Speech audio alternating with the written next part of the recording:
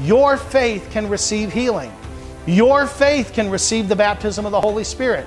Your faith can receive the blessing of God. It can receive prosperity, deliverance, success in your business, success in your family. Your faith can receive whatever miracle you need in your life. But it can't receive a single thing if your faith is sitting on the couch. Everything we receive in the new covenant is received by faith. That means you need to learn what faith is, how faith works, and how to grow in your faith. Jesus said, I came to give you life and life more abundantly. Life is not simply about existing here on earth and waiting for heaven. No, life is about abundance. You and I were created to worship God in spirit and in truth. Worship is much more than an act, worship is a lifestyle. When Jesus is at the center of your life, your priorities will change, and so will the flow of God's blessing into your life. From Faith Life Worship Center in Naples, Florida, this is Pastor Heath Jarvis. Hey everyone, welcome to the broadcast today. I want to give you a hypothetical scenario. I want you to imagine for a moment that you have a best friend who is a millionaire. Now, this friend of yours has been your confidant for years, and you've been their confidant as well. You've shared your hopes and your fears and your dreams with each other. You've not only confided in each other, but you've been there for each other through thick and through thin. You've helped each other out a lot. You've consoled each other. You've counseled each other through life's challenges. You are the best of friends. Now, one day, your millionaire friend says to you, You know, you've been such a good friend to me through all of these years, all the ups and downs in my life. I want to do something nice for you. I want to hire you a servant. Now, this person can do whatever you need them to do for you. They are a master chef, they're a certified mechanic, they're a licensed plumber, they're an electrician, a master carpenter. They can do landscaping, they can cook, they can sew, they can clean, they can do laundry, they can paint, anything that you need. And don't worry about putting them to work because I'm paying them very, very well. I'm taking care of their salary.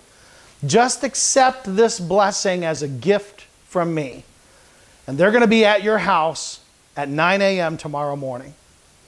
So the next morning, you wake up, and at 9 a.m., this servant shows up at your house and they ring the doorbell. And you answer the door and they introduce themselves. They say, Hey, I was hired by your friend. I'm your personal servant.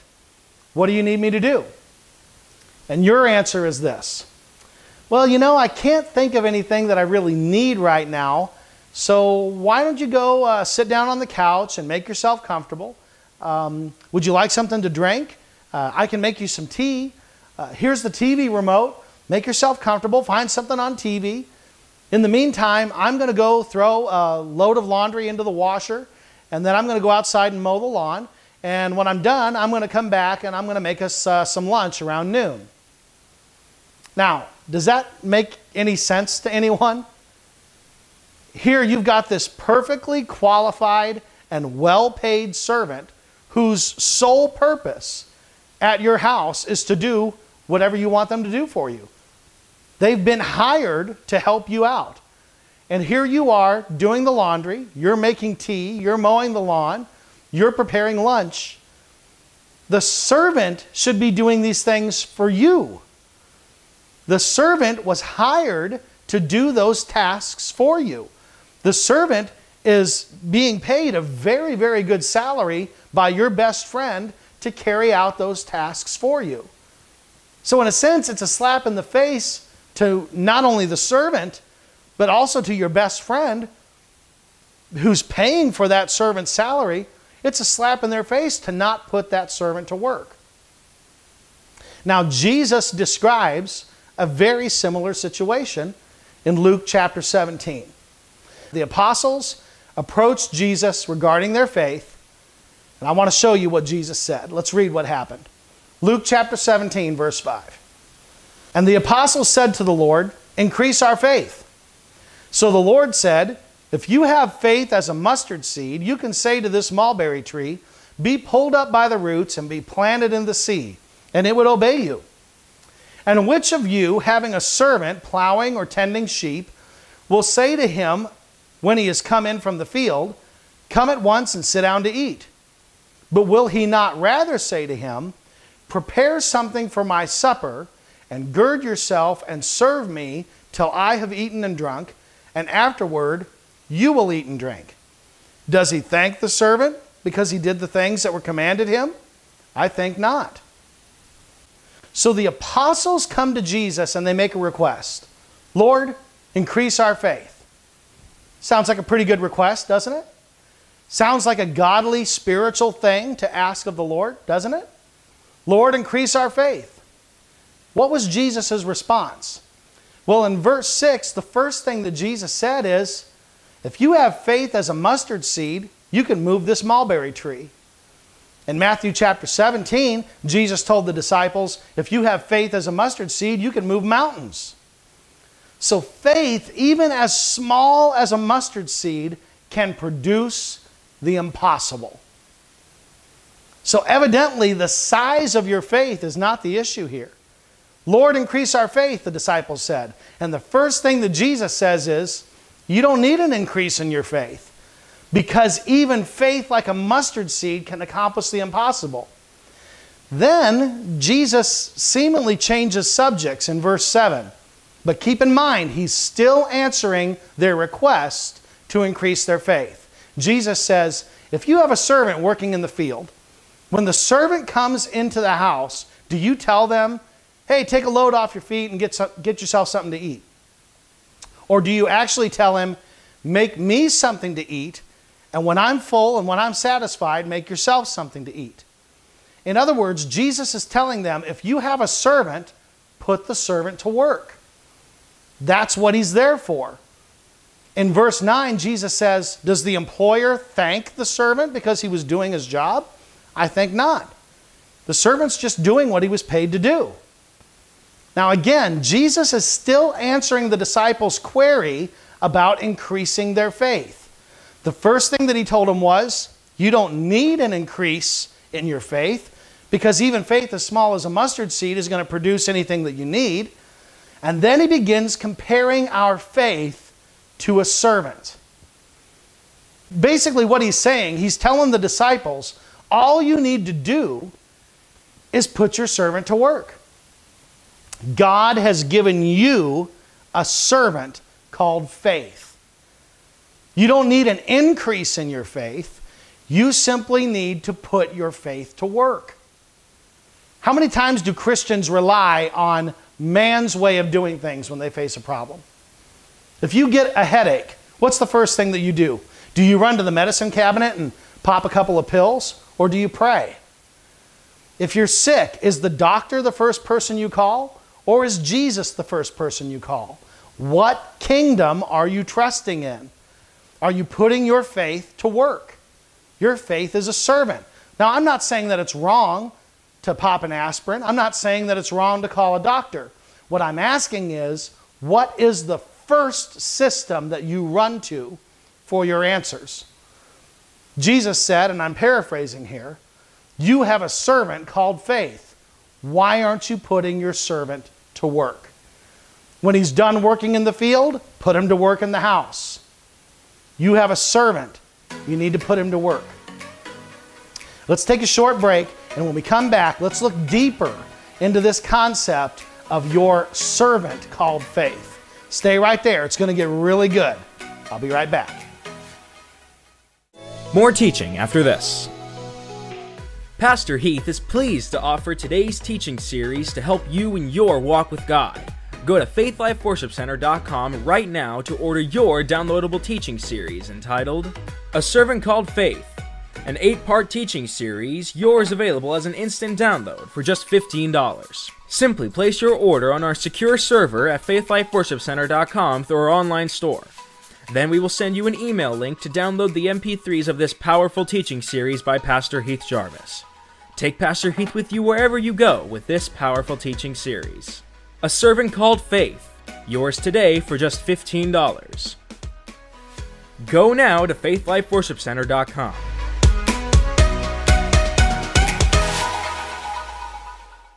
Let's go back to Pastor Heath's message. So today we are looking at Jesus' words to the disciples in Luke chapter 17. The disciples said to Jesus, Lord, increase our faith. And Jesus, Jesus basically told them two things. Number one, you don't need an increase in your faith because even the smallest seed of faith can supernaturally produce the impossible. And number two, if an employer puts his servants to work, don't you think that you should put your faith to work? In verse 9, Jesus says, Does he thank that servant because he did the things that were commanded him? I think not. You see, you don't have to thank your faith. Your faith is there to produce for you. You can thank God for your faith because he was the one who gave you the faith to begin with. Ephesians chapter 2 verse 8 says, "For by grace you have been saved through faith, and that not of yourselves, it is the gift of God." Did you catch that? You've been saved by grace through faith, and that not of yourselves. That what? That faith. The faith that you have that allows you to receive God's gracious gift of salvation is not your faith. It is a gift of God. See, that's how awesome our God is. He not only offered salvation to us by His grace, but He also offered us the faith to receive the grace that He's making available to us. God's grace made it available, our faith receives it. But the awesome thing is that we can't even take credit for exercising our faith because God was the one who gave us the faith to begin with. This brings us back to the scenario that I mentioned at the beginning of this message. If your millionaire best friend paid for you to have a servant who could do anything that you needed, wouldn't you be a fool to not put that servant to work? And in the same way, God has given you a servant called faith. Wouldn't you be a fool to not put your faith to work in your life? God gave each of us a measure of faith so that we could receive salvation. But not only that, your faith can receive every great and precious promise that is available to us in the Word of God. Your faith can receive healing. Your faith can receive the baptism of the Holy Spirit. Your faith can receive the blessing of God. It can receive prosperity, deliverance, success in your business, success in your family. Your faith can receive whatever miracle you need in your life. But it can't receive a single thing if your faith is sitting on the couch, sipping tea, watching game shows, while you're running around the house doing all of the tasks in your own strength. We're not supposed to be operating in our own might, in our own strength, in our own power, in our own understanding. We're supposed to be operating in the power of God's Holy Spirit, which is made available to us by faith in our Savior, Jesus Christ. The next time that you have a headache coming on, before you run to pop an aspirin, try laying hands on yourself first, commanding that headache to go in the name of Jesus. I had a lady at church do this one time, uh, right after I had preached a similar message to what I'm preaching today. And I had recommended the next time that you get a headache, instead of running to the medicine cabinet, instead of popping an aspirin, lay hands on yourself. Well, the next Sunday, she came to church and she said, Pastor Heath, it happened. Uh, I was starting to get a headache at work, and I went to look for an aspirin in my purse, but then I stopped and I remembered what you had said. Lay hands on yourself. She says, I laid hands on myself and I commanded that headache to go in the name of Jesus, and it instantly left. Yep, that's how the kingdom is supposed to work. Put your faith to work. Don't let your faith sit on the couch. Put your faith to work. God gave you a servant called faith. Put him to work. I'll be right back. Pastor Heath is pleased to offer today's teaching series to help you in your walk with God. Go to faithlifeworshipcenter.com right now to order your downloadable teaching series entitled A Servant Called Faith, an eight part teaching series, yours available as an instant download for just $15. Simply place your order on our secure server at faithlifeworshipcenter.com through our online store. Then we will send you an email link to download the MP3s of this powerful teaching series by Pastor Heath Jarvis. Take Pastor Heath with you wherever you go with this powerful teaching series. A Servant Called Faith, yours today for just $15. Go now to faithlifeworshipcenter.com.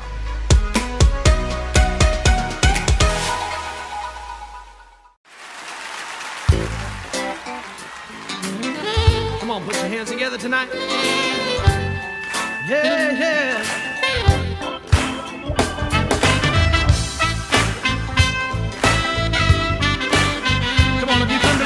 Tonight,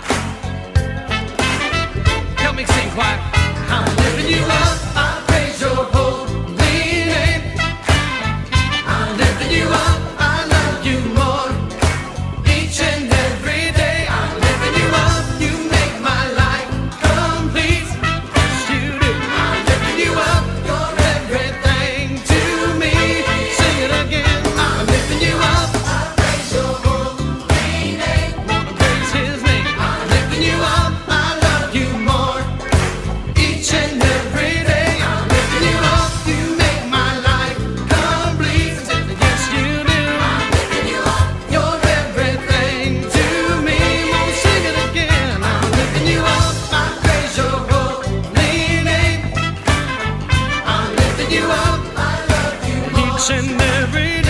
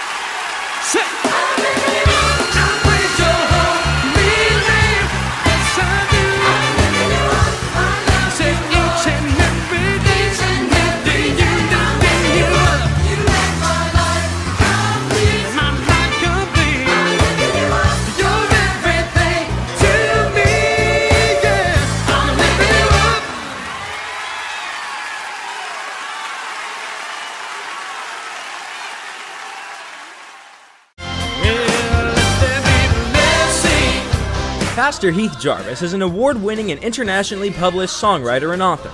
He is pleased to offer today's song to you as a download from our website for only 99 cents. Just go to faithlifeworshipcenter.com, then go to our store to browse our downloadable music. Each song is only 99 cents. While you're there, you can also browse our other products, like downloadable books, downloadable teaching series, and apparel. All of our products help support the cost of this broadcast and the ministry of Faith Life Worship Center in Naples, Florida. Go to faithlifeworshipcenter.com to place your order today.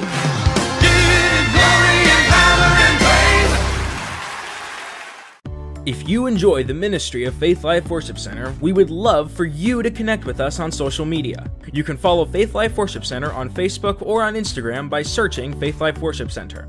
You can also find Pastor Heath Jarvis on Facebook. Check out our youth group by going to Fly Faith Life Youth on Facebook or Instagram, and subscribe to our YouTube channel by searching Faith Life Worship Center. If you still want to learn more about us, go to our website, faithlifeworshipcenter.com, where you can learn about our church, listen to other messages, find information on events, browse our store, or support our ministry financially.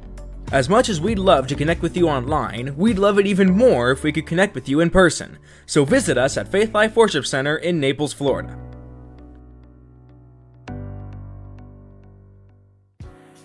And maybe you're tuning in today and you don't know anything about Jesus or Christianity or this God that we love and worship.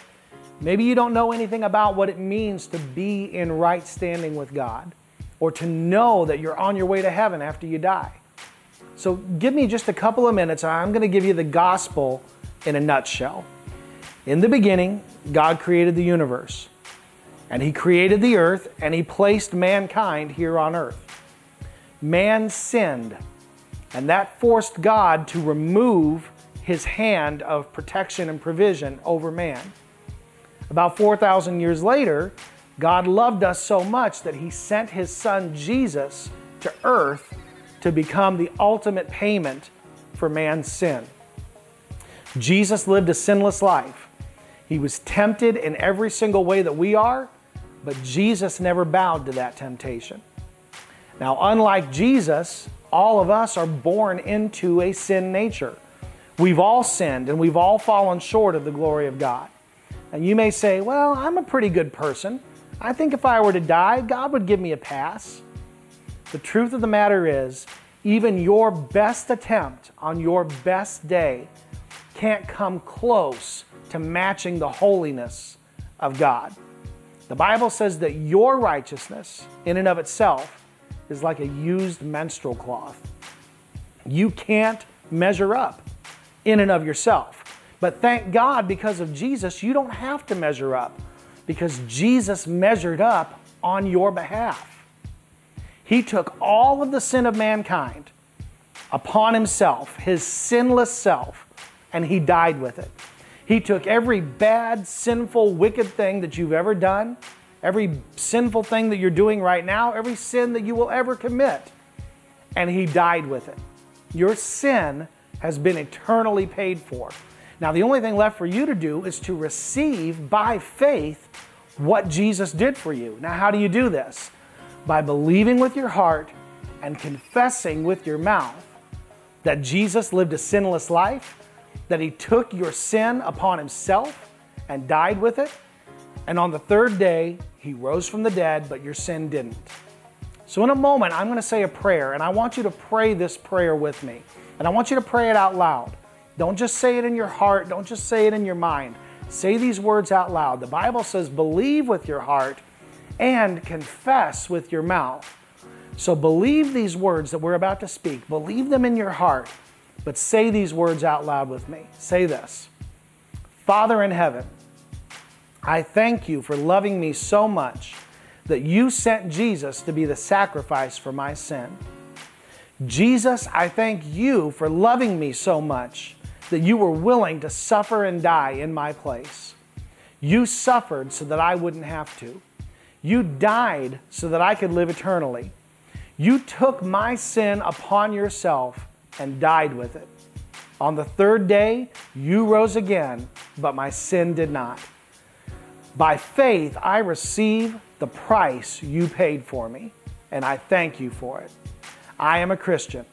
I am born again, I am in right standing with you, God, and I will live for you as you show me how. Thank you for saving me. In Jesus' name I pray. Amen. Now, if you said this prayer for the very first time in your life, let me be the first person to welcome you to the family. You are in for a great ride. Now, I would love for you to reach out and contact us. Let us know about the decision that you've just made and the prayer that you just prayed with us. I'm not trying to get you to join anything, I'm not trying to sell you anything, I'm not trying to add you to a mailing list. We just want to help you get started with your walk with God. I love being a Christian. I love the life that I live. And I know that you're going to love it too.